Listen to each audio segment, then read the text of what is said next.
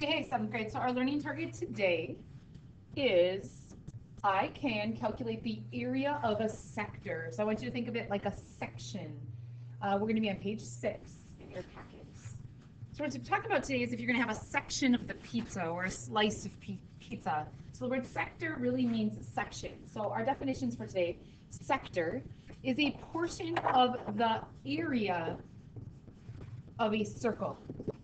It's like a slice of pizza, two slices of pizza, and so on. So here's an example. So we have the circle, and let's say that you're going to go ahead and have these two slices of pizza. What happens if you eat that much pizza? What area of the pizza did you eat? So we're going to talk about how we break that down. It's going to be very similar to arc length in the process, except we're going to be working through that area in this uh, our work today.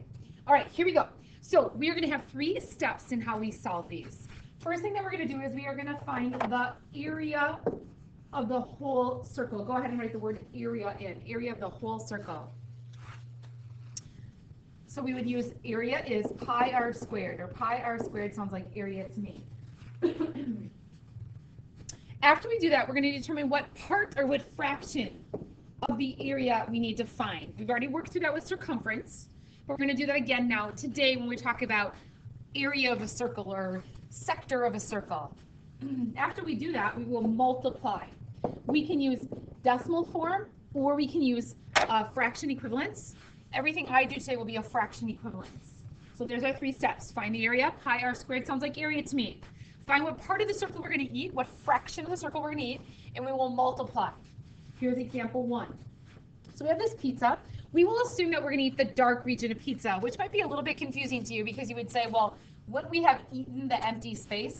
But just for our work today, I need you to understand that we are going to eat the dark region. I'm to go ahead and highlight in yellow right now what region we're talking about. That's the region of pizza we're going to eat. So we're going to start by finding the area of the whole circle. So we're going to find area of the whole circle. Pi r squared sounds like area to me. Go ahead and write that formula down. Top great, Let's go. Area is pi r squared. Everybody's writing pi r squared. All right, so let's assume that to start, we would, what would happen if we ate the whole circle? So we'd have 3.14 multiplied by that radius squared. Now as I look at this picture, this is a diameter of 20. So if the diameter is 20, we would say that the radius is 10.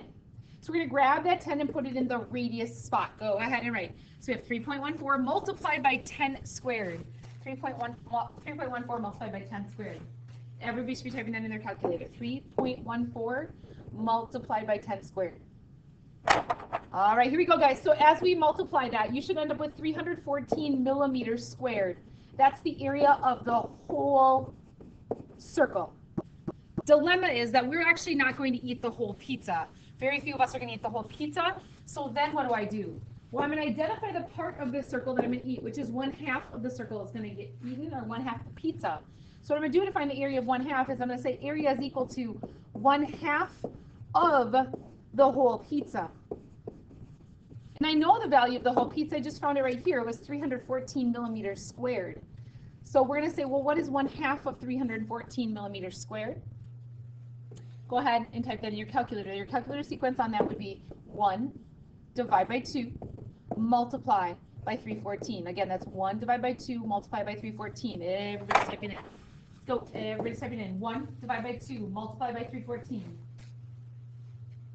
Answer you should be coming up with is 157 millimeters squared. That is the area of pizza or this region of pizza that has been eaten. That's example one, seventh grade. If we are going too fast right now, you need to pause, rewind, rewatch, and if you have a sub today, you should be saying, can you stop the video so we can catch up? Very politely, you should be saying, can we stop the video? All right, guys, here we go. Example two. In example two, we have, we're gonna start off by finding the area of the whole pizza. Pi r squared sounds like area to me.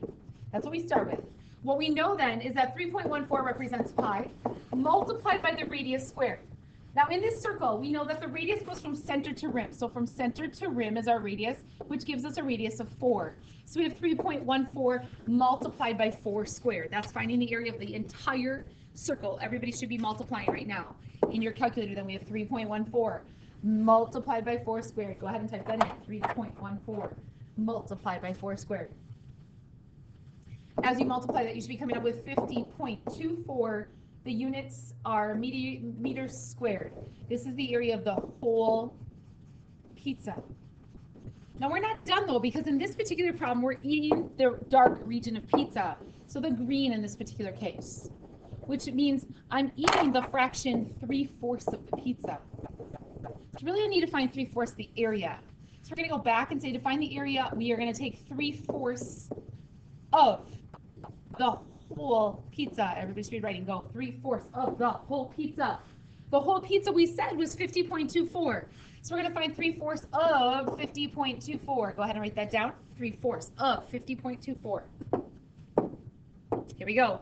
In our calculator sequence, we're going to go 3 divided by 4 multiply by 50.24. Go ahead and type that in. 3 divide by 4 multiply by 50.24.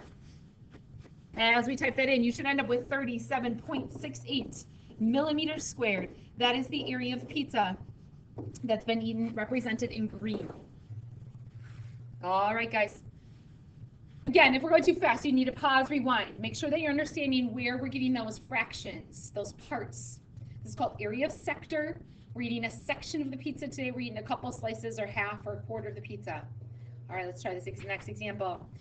In this next example then, we're going to start off by finding the area of the whole pizza. I know it says you try. If you were in class with me right now, I would take a break, have you try it, and then we would solve. But since this is through a video, we're going to go ahead and just have you plug away with me. We're going to assume that we're going to find the area of the whole pizza. In order to do that, we'd say 3.14 multiplied by the radius squared. Now the diameter of that pizza is 12. So the radius of that pizza would be 6. So we're to grab that 6 and plug it in. So we have 3.14 multiplied by 6 squared.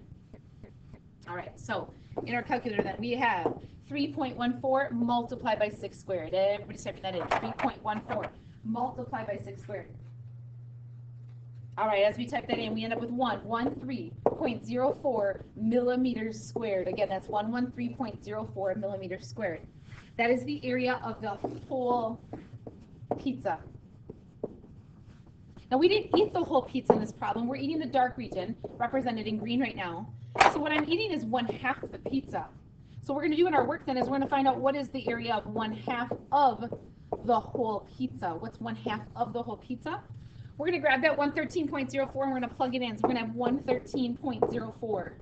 So our calculator sequence on that then would be 1 half, 1 divided by 2 multiplied by 113.04. 1 divided by 2 multiplied by 113.04. Everybody's typing in. You should be getting an answer of 56.52. The units on that is millimeters squared. That is the area of half the pizza represented in green. There it is, seventh grade. Okay, we have another example over here on the right, which is looking like you maybe are eating two slices of pizza or one-fourth of pizza if we were to cut that in half. Now, of course, we start with what is the area of the whole pizza? Area is pi r squared. So we'd say the area of the whole pizza is 3.14 multiplied by the radius squared. Radius goes from center to rim, 3.14 times 5 squared. Everybody type that in, 3.14 times 5 squared. 3.14 times 5 squared, because there's our radius. Again, we're eating the dark region. Okay, here we go. 3.14 times 5 squared. You should have 78.5 centimeters squared. That's the area of the whole pizza. We are not eating the whole pizza. This time we're eating the fraction one-fourth of the pizza. So the area would be one-fourth of the whole pizza. We know that the whole pizza is 78.5. So we're going to go ahead and plug that in and we're going to find out what one fourth of the whole pizza is because that's the region that we're eating, which would be 1 divide by 4. The operation in between is multiplication. And then we're going to multiply by 78.5. Go ahead and multiply 1 or divide. Or we have 1 divided by 4 multiplied by 78.5. Here we go, guys. Typing that in, you should end up with 19.68 centimeters squared. Go ahead and check your work there. That is the area of one fourth of the pizza called area of sector. Again, today we are finding the area of a section of pizza. We start by finding the area of the whole pizza, and we multiply by the fraction of pizza that we are going to eat. We could use the de de uh, decimal equivalents as well, but in our work, the way I'm teaching it, we're going to just go straight fraction on that. All right, guys, here's a word problem. So here's a nice real world problem of what's going on. All right. A family pizza from Papa Murphy's has a diameter of 16 inches. Very important information right there. We have a diameter of 16 inches. Everybody draw a picture or a sketch of what's going on there. So we're gonna go ahead, this pizza has a diameter, the line that goes from side to side passing through the center is 16 inches. All right, sounds great. Here we go. So if you split it evenly among your five friends, so that's five friends plus you, which means six people are gonna split that pizza. We're gonna have to slice it into six pieces. How many square inches of pizzas, pizza do you each get? Okay, so let's start by finding the area of the whole pizza. Now we know you're not eating the whole pizza because you're actually gonna split it with five of your friends. Five friends plus you is six ways. We're gonna divide by, or we're gonna cut it into six. Here we go. We have 3.14 multiplied by the radius squared. We're gonna have to identify the radius. What I have right now is a diameter, the line that goes from side to side, passing through the center is called the diameter. I'm gonna grab the radius out of that, which would be a radius of eight. So we have 3.14 multiplied by the radius squared. 3.14 times 8 squared. So 3.14 multiplied by 8 squared. Everybody's typing that in. Let's go, guys. Everybody's typing it in. 3.14 multiplied by 8 squared. As you type that in, you get that 200.96 inches squared. That's the area of the whole pizza. But our dilemma is this. We're going to split that pizza six ways. So what fraction of the pizza do you each get? You each get one sixth of the pizza. So we're going to take what is one sixth, because there are six of you. Each of you get one sixth of the pizza, one sixth of the whole, one sixth of 200.96. That's what we're working for here. How much pizza are you going to get? So you're going to go ahead and uh, type that in your calculator sequence. That's 1 divided by 6, multiply by 20.96. Pardon me, 200.96. Again, that's 1 divided by 6, multiply by 200.96. As you typed it in, guys, you should end up with 33.49 inches squared of pizza. That is how much pizza that you each get. All right, guys, so our work today was on called area of sector, or a section of pizza. We found, we start by uh, calculating, so in my summary today, step one is we're gonna use pi r squared, sounds like area to me, that's how we're gonna get the whole pizza, all the yummy stuff, the sauce, the crust, the area. And step two is gonna be that we're gonna multiply by the fractional part. Everybody should be writing that summary right now, guys. We're on page six, bottom section, the summary. So first, we're gonna find the area of the whole pizza, and then we're gonna multiply by the fractional part.